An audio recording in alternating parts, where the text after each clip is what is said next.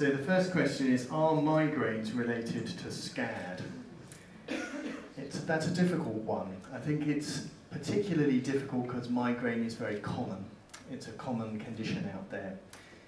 Um, we've been slightly stung in the world of cardiology by the question about whether migraines are associated with small holes in the heart called um, PFOs, little leaks in the heart. And a whole sort of research program and world developed around this theory, which more recently seems to be less likely to be the case. So I think it's difficult to know the answer to that. Um, we've certainly uh, collated and, and, you know, a reasonable number of patients who've reported this, um, but I think at the moment it remains a, a, question rather than a certainty. So yes, there do seem to people, be people who have both, but um, I'm not clear that that's necessarily a causal association. So uh, sort of, some of my answers are going to be a little bit political. I try and get around the answer. So since SCAD, this uh, question says, I've been bothered by back pain. My GP said it wasn't connected to SCAD. Do you know of any connection?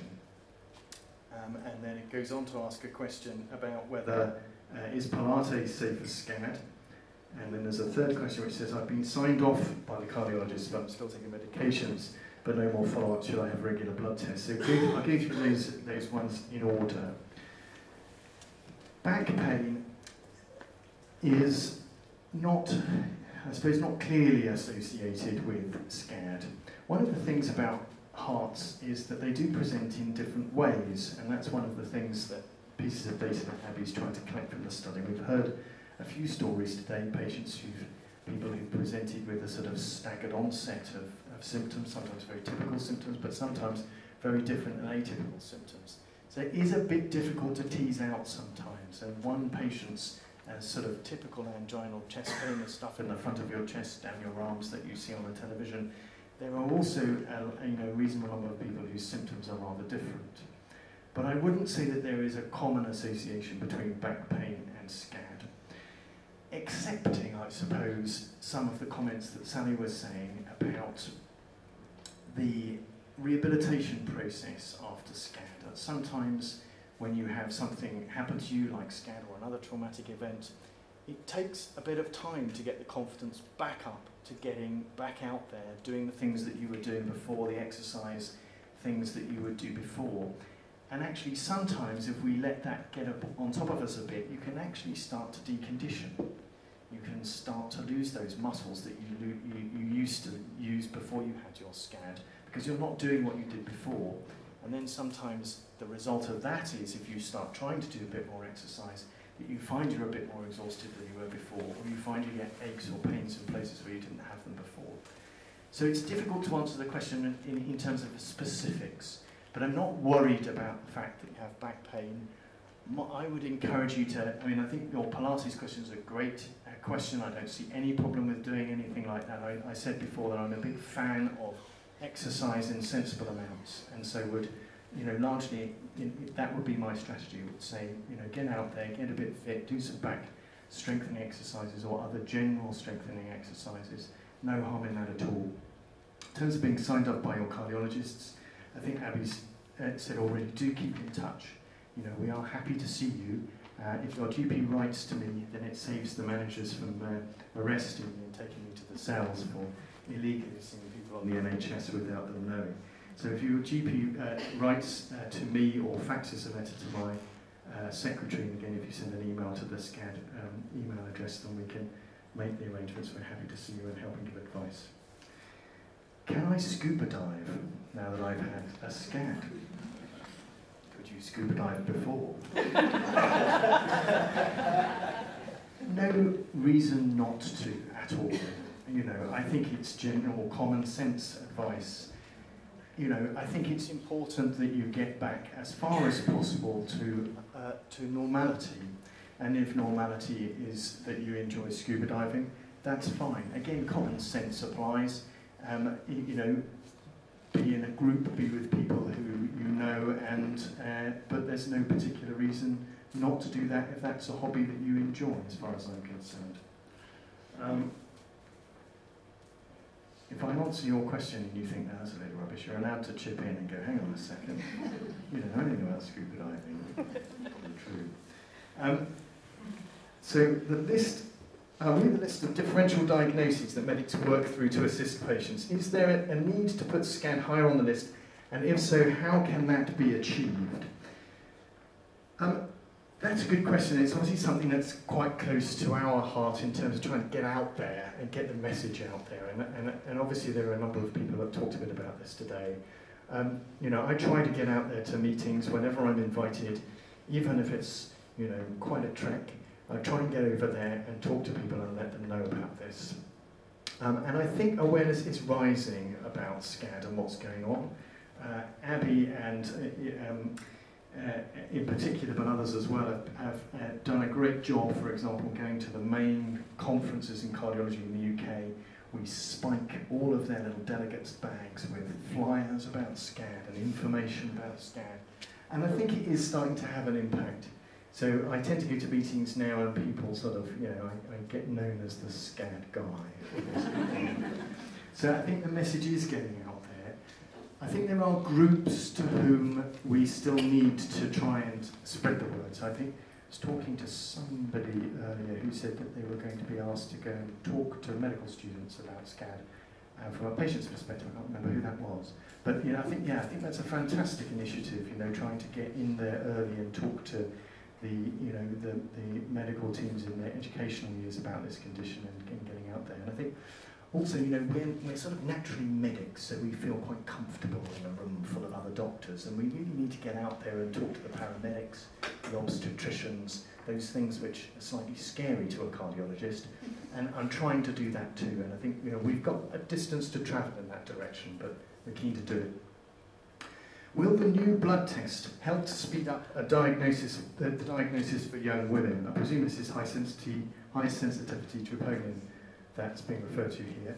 So the answer is it it will to some extent. So it would be it would be more it would in, it, would be a higher probability of it being positive than current tests.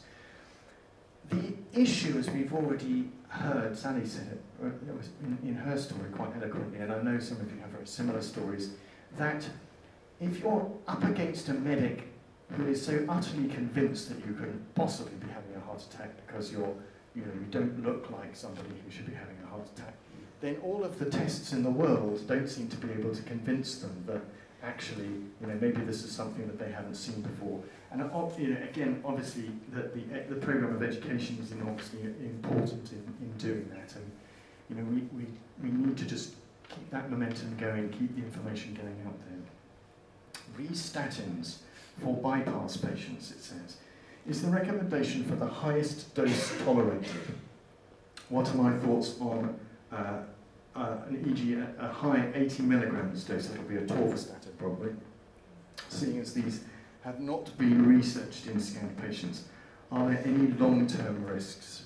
The microphone's pretty bad. I suggest you do your shouting thing, which won't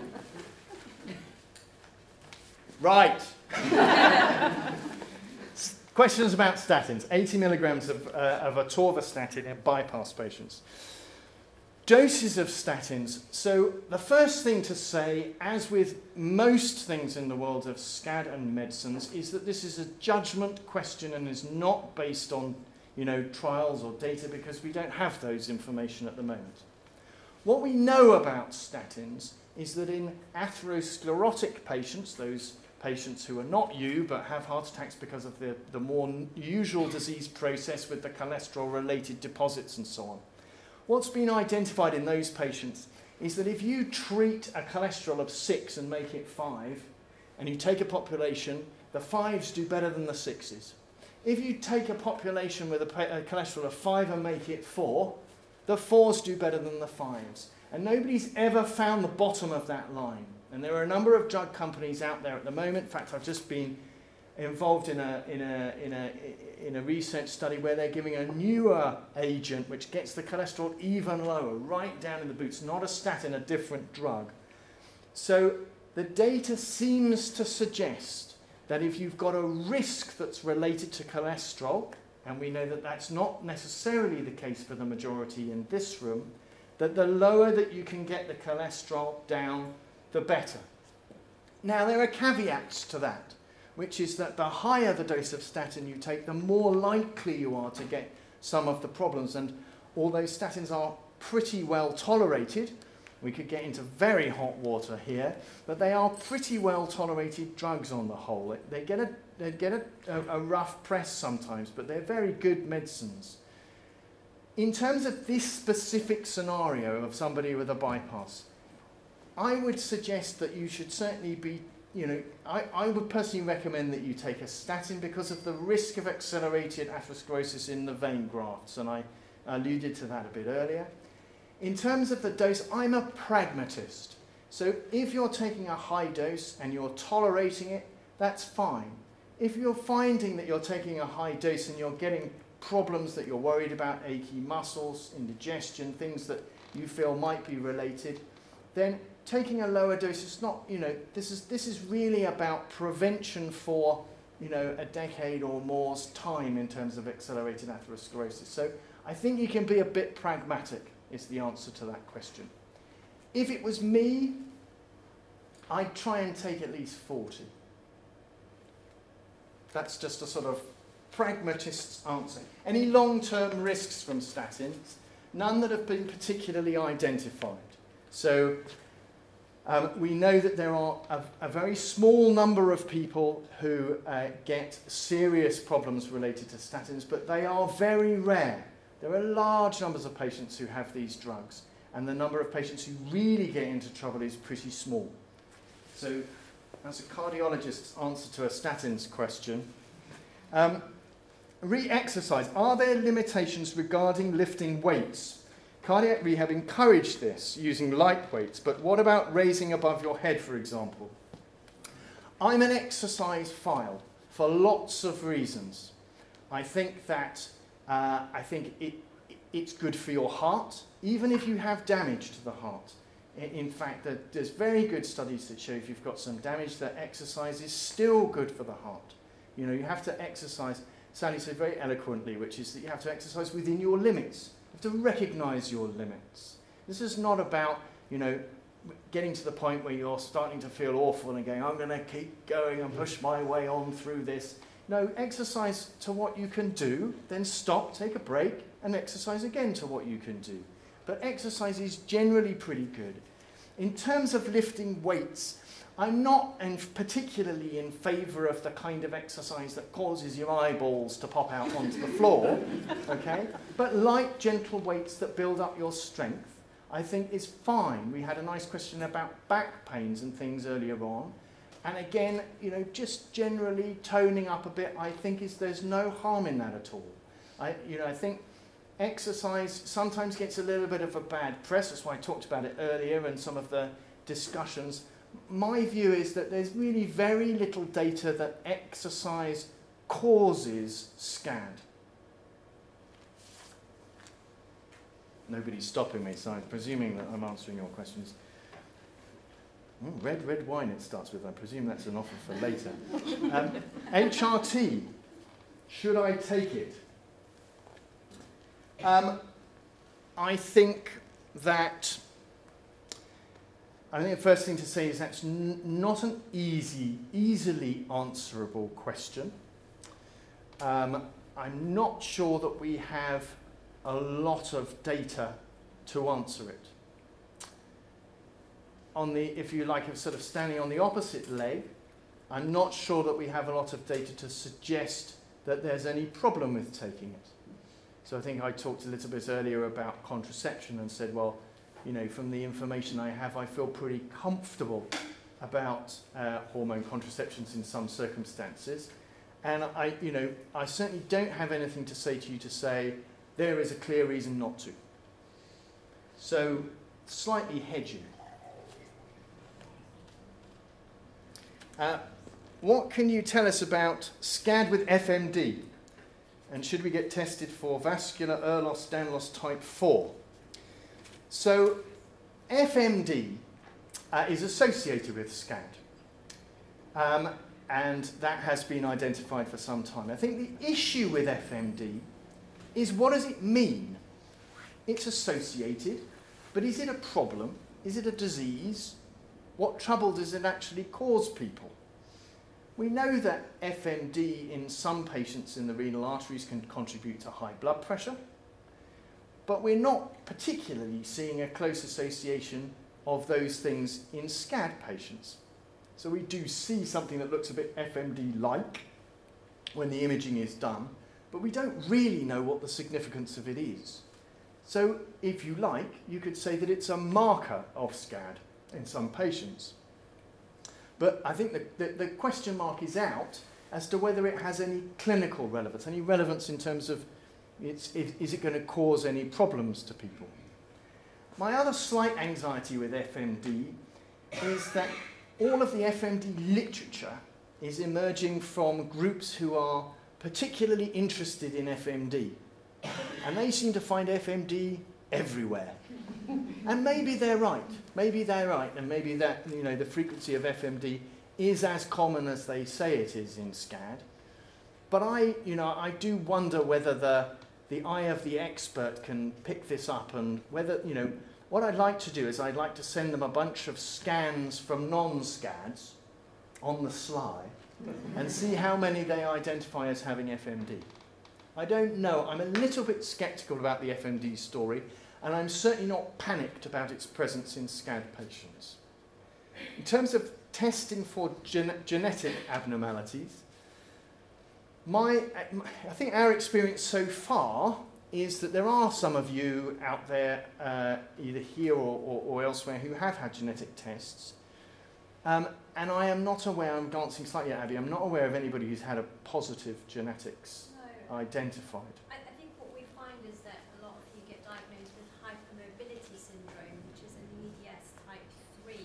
Yes. But it's not, the genes are not positive, it's just feature-wise you happen to be a bit more flexible, if that makes sense. So the genetic, we don't yet have anyone who's come back with definite positive genetics, but maybe looking-wise you you, you present very similar. So I'm just going to shout that out to those in the back there. What Abby's saying is that when you're going to see the geneticists, what, they, what they're doing is kind of the similar thing that uh, Abby does when you come up on the research day. Which she's looking at patterns that fit with other connective tissue disorders. So that's, you know, people that are a bit more hypermobile, or maybe have particular sort of, you know, long fingers or transplant. There's a whole list of things that we look for. And the geneticists will sometimes say that you have a sort of syndrome that's in keeping with something, but they don't identify the genes. So it's not really saying that much more than we already know. So um, as, as I think I said in my talk, in terms of gen genetics testing, I'm not sure there's much to be gained from it at, this, at the moment. Okay, but we're certainly going to take your DNA and have a look at it when you come up to the research day. What if our current drug regime doesn't match your suggestions today? Who do we discuss this with? Um, sorry about that. Um, I mean, the first thing to say is that treatment is a judgment because it's not like treatment for a heart attack, conventional heart attack, if you like, where we've got these massive databases of tens of thousands of patients to say, this is what we should do. This is not that condition. This is, a, this is about a judgment. We have a slight advantage over some of the other uh, people uh, who you might see in your, in your local hospitals in that we see a bit more of it. And it just, I think, maybe helps us a little bit to make that judgment. So, but as a general rule, we don't mind being contacted. We do our best. You know, I, I, I, do apologise for when there are bits of delays in response. We're trying our best. Sometimes we get a little bit swamped. But we, we are happy to try our best to answer questions. And we are always happy to see people uh, in, you know, as I say, I'm always happy to see people in my NHS clinic. Uh, it helps if you can get your GP to refer you just because it, um, it keeps me out of the sort of NHS jail from a management perspective for, for, um, uh, for, for costing the hospital lots of money. But uh, if, you, if you come and see me, and if you have problems, I had a conversation a little bit earlier with somebody who said, look, we want to come and see you, but our local GP won't refer us. If you have problems like that, just let us know because we'll work, we'll work something out, okay? We'll ring you up or we'll come up with a solution and meet at the service station of the motorway. um, uh, are neck massages or yoga safe? I hope I've answered these questions about, about exercise. I think all of these things are good. Okay, that's my view. The, as I say, the things that I wouldn't do would be Everest, you know, uh, sort of huge weights, trying to beat Usain Bolt. It's the extremes of exercise that I would be avoiding personally. But I think if you keep within yourself, as Sally said, if you recognize, you know, it's about feeling your body in a way, understanding what the signals that you're, you know, learning about what the signals that your body sends you. And, that, and those messages are different from what they were before you had your SCAD event. And you have to sort of almost relearn what your body's telling you. But I think providing you listen to your body, these things are all good. You, Karen, just uh, put a gag on me at the right moment, okay? Because Yep. there's a few more. So I'm, I'm just going to keep going until you say, "John, when is the best time of day to take your medications? That's a, that's a great question. One of the problems that uh, patients with SCAD often have is a low blood pressure. We, have, we meet this a lot, which is that we talked about that list, didn't we? And I said, well, look, if you've got a bit of heart damage, I want you on a beta blocker, I want you on an ACE inhibitor, and all of these things cause your blood pressure to go down. And unfortunately, because you're young, your starting blood pressure is already quite low. And then you've had a heart attack, and that knocks it a little bit further, and then we have a bit of a pickle. So the, the answer in terms of when you take your tablets depends a little bit on situations with your blood pressure and what sort of medications we're trying to get on board. So if you were to have heart damage and we're quite keen to get you on the ACE inhibitor and a beta blocker a bit of a dose to try and help the heart muscle in that situation. Sometimes I'll say to patients, look, the best time to take these tablets is at night. Because if you're lying down at night, you're not going to be lightheaded if your blood pressure goes a bit lower after you take the tablets. If that's not an issue for you, then I think you can take them whenever is best for you to remember them. Because the other thing with tablets, and the other thing that you'll all have had this experience, is that you go from being a person who's never taken a tablet in your life to all of a sudden coming home from hospital with a wheelbarrow full of medications from the doctor. And, and actually, it's not easy to change your life in such a way to try to remember to take those tablets on a regular basis. And yet, you know, those tablets, we've gone through them all, and certainly in particular uh, content, particular patients, are really important to take. So I'm a bit flexible. If it works for you that you get up in the morning and they're by your bedside table and you take them then, that's fine by me. If it just happens to be better for you that you take them, you know, when you get home from work in the afternoon, that's probably fine by me too. I think it's what works for you. It's pra- practical and pragmatic. How common is it to have a precursor event? Uh, this might skew the already dubious recurrence stats. And I had a minor event five days prior to the MI. This is really common. This is really common. And I think, again, this is one of the things that, that we're trying to get from the research study to help us to, again, try to, try to get a clear picture as to what happens to you when these things happen and also get it out there to the medical teams to start thinking about it. A staggered onset seems to be very common. You know exactly what's happening. I suspect the arteries, you get a little bleed, and maybe it's restricted and it opens up, closes again, opens up again. And, and you know, this sort of um, is, is a very common uh, issue. The recurrence stats, you know that I'm dubious about them. I mentioned that earlier. Whether this contributes, I'm not sure, but I certainly, you know, I'm, I'm concerned that patients with SCAD are given an impression of a very high recurrence rate. And uh, my view is that our experience, we're not in a position to publish that yet, we've got a bit of a way to go, but our experience is it's not as high a recurrence rate as those that have been reported. And I think there's very clear reasons why, which is how they set up in the Mayo Clinic as a, you know, a referral centre from across the US. And they're going to get those um, patients who've had a much uh, much more serious incident or recurrent events or have something in the family.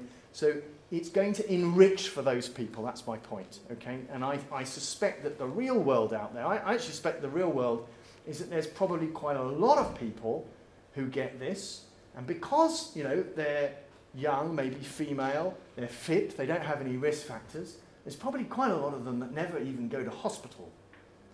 And then there's probably another group that do go to hospital, and the guy in A&E goes, you know, here's a Rennie and a glass of milk, and off you go. You know, there's probably quite a lot of, of underdiagnosis out there. So don't forget that when you're interpreting the recurrence rates, that they are really those patients at the top end of the spectrum. Oh, here we go. Well, it's not as long as it looks. Here we go. Uh, should you stop exercising if you get chest pain? We've had a, a nice discussion on this, uh, and I think Sally said it much more eloquently than I can, which is that it, uh, it's all about listening to your body.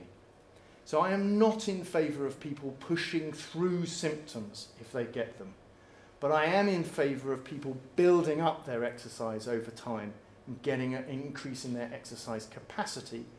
And I, don't think it's any different to what we see in our other heart patients, which is it's about, you know, to start with, it's about little and often, and then it's about building things up over time.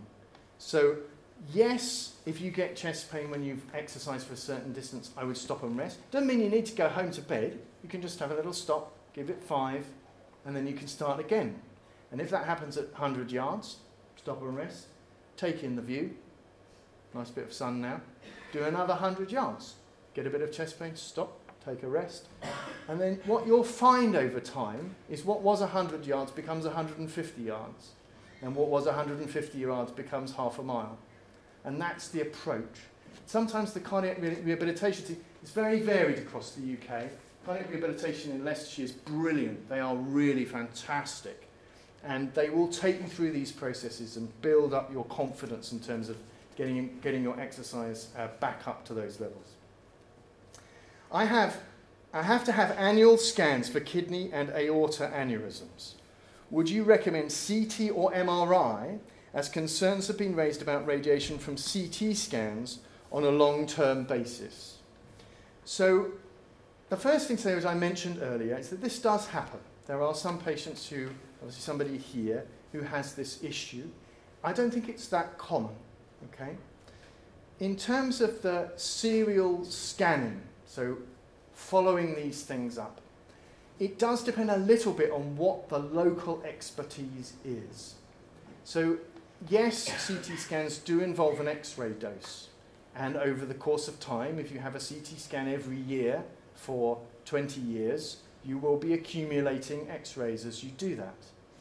If you have a, a centre that has a very good MRA service and they're able to do the same sorts of things with MRI, then I would certainly talk to them about that. But the most important thing is that somebody's keeping a proper eye on these things.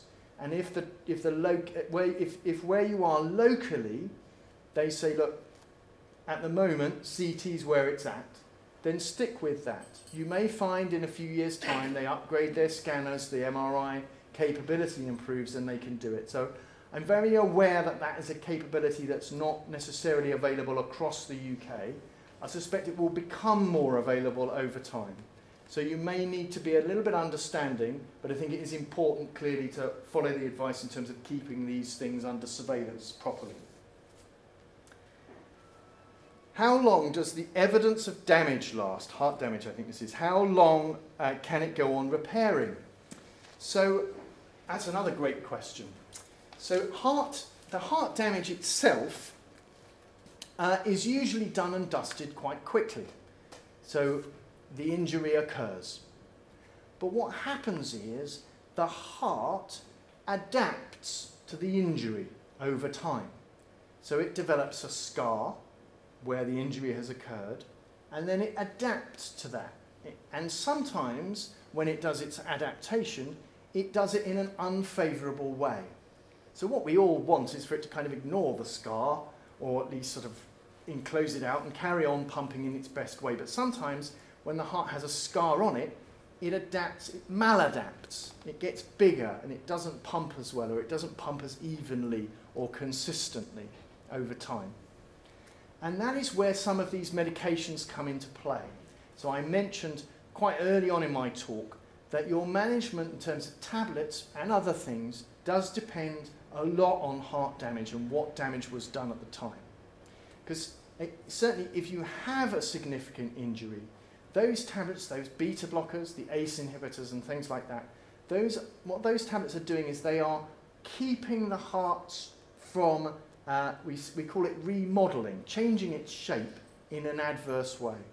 So that's why we want you to keep taking those tablets, because it stops the heart from dilating up or getting into difficulties. Those tablets are very good at doing those kind of things. So it's less, if you like, that damage continues, but more that some hearts want to remodel as a result of the injury in a way that's not helpful to you and your body. And that's where the tablets can help. And very occasionally, special pacemakers can be used to try and help with that in, in uh, some patients. Uh, any connection found yet between glaucoma, migraine and skin? So I've talked about migraine, and I think glaucoma probably in a similar boat. And I think, and we also talked about back pain at the beginning. One of the challenges, and this is, this is a sort of a more general point as well, is that as you go on uh, sort of learning about your body after, after SCAD, you also have to try and keep an open mind about symptoms that you get. It's very easy if you've had a heart problem to attribute all symptoms that you get to your heart.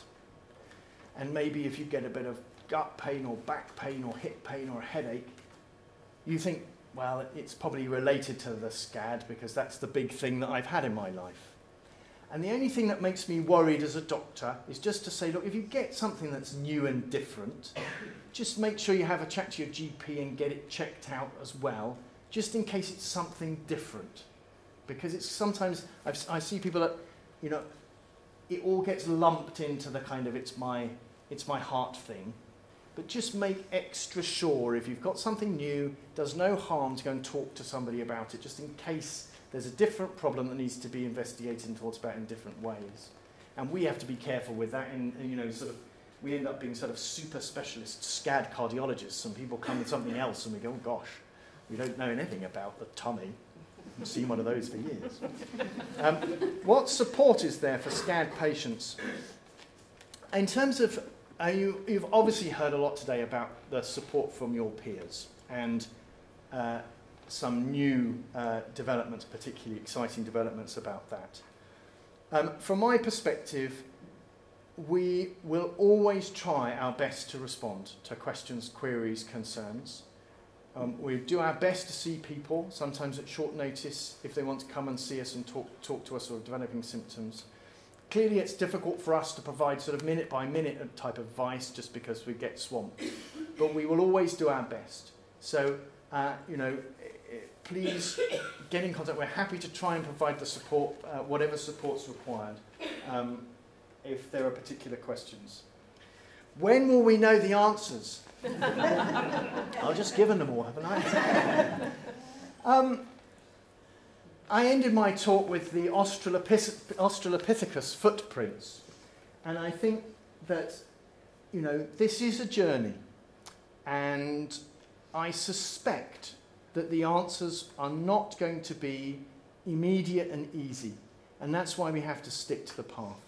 I don't think this is a monogenetic condition, for example, where we're going to find a single gene, it's all going to be easy, wrap it up, and move on. I think it's going to be a bit more complicated than that. Abby's already identified that there is a heterogeneity within the group. There are differences, there are different subtypes of people who are getting this kind of problem. So I think we just have to keep going, working together. Yes, the genetics is important. We want to look at biomarkers. Can we come up with new things that might be able to, for example, diagnose somebody as a SCAD as opposed to another type of heart attack? Is there a blood test that you could do to say, look, this is, this is a different thing or not? There are lots and lots of questions. So um, we'll have another go at this question next year, shall we? Uh, how long would you recommend isosorbide mononitrates are taken for? Um, I presume this means over sort of years rather than within a day.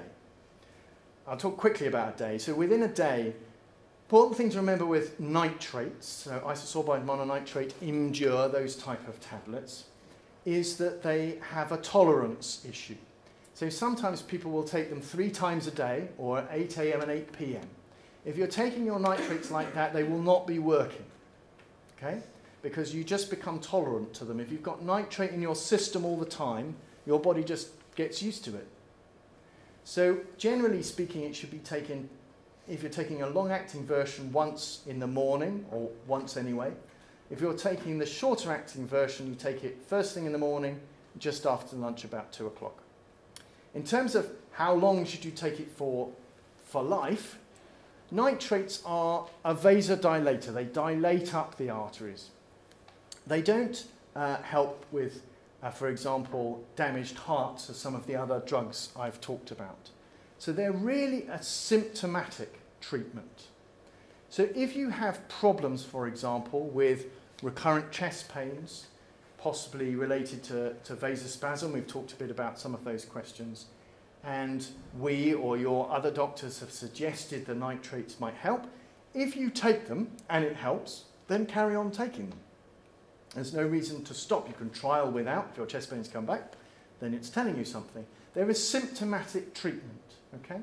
So there's no reason to take them because you've had SCAD. The reason to take them is if they help you with any chest pains that you get after your SCAD. And, you know, there's a significant uh, group of you who will have those kind of symptoms.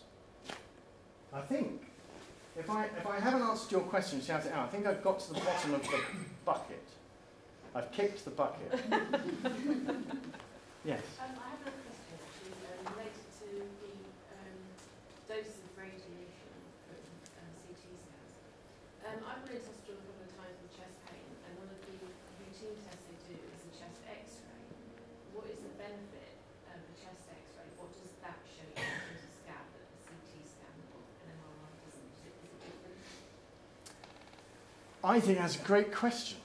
And, you know, it's a bit like when you go to the dent. Whenever I go to the dentist, they always take an x ray of my teeth. And I'm like, well, I thought you were a dentist. You know, can't you tell? And I think, you know, the same applies to some extent with a chest x ray. Um, in mitigation, a chest x ray is a very low dose. So if you were to work out the number of chest x rays required to get up to the same dose of x rays as an angiogram, can't tell you off the top of my head, but it will probably be, you know, of the order of several hundred, I suspect. Um, and the same applies in terms of the ratio of a chest x-ray to a CT scan. So it's a very low dose, and often because it's such a very low dose, the knee-jerk response when somebody comes in with new symptoms is it's almost part of the routine investigation profile. It shouldn't be, in fact. There should be a thought process that goes on um, uh, before uh, applying for a chest x-ray for anybody because it does involve a dose of x-rays as you say. Um, but it does tend to form a kind of, you know, uh, part of a baseline of investigations. But I think it is a very low dose of chest x-ray. The CT scans is different because the dose from a CT scan is a bit higher.